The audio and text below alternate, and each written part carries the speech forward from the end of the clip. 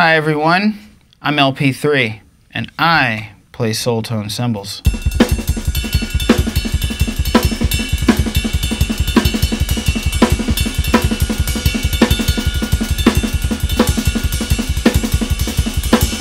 You all may know me from the band Yellowcard. I've also toured with bands such as Adam Lambert, Tribal Disorder, and also Afro Bluja Funk. I play in a group called LP3, which is my band, which we've been working really, really, really hard on branding our own sound. And that brings me to the next thing why I'm excited today.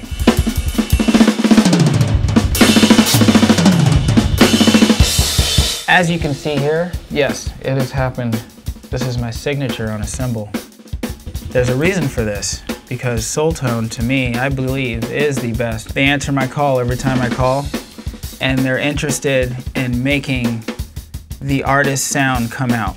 They brand the artist, and that's something that you need as an artist to go through. Is, you know, a lot of people get stuck into a label, you know, and they want to play this because of a label and a brand.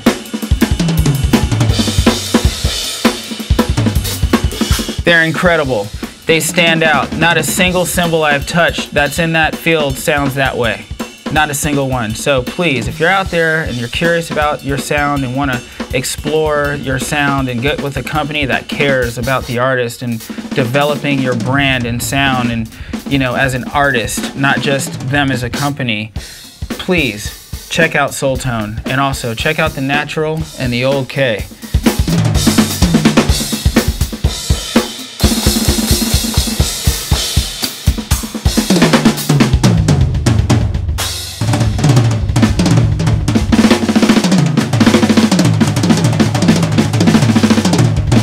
They'll blow your mind.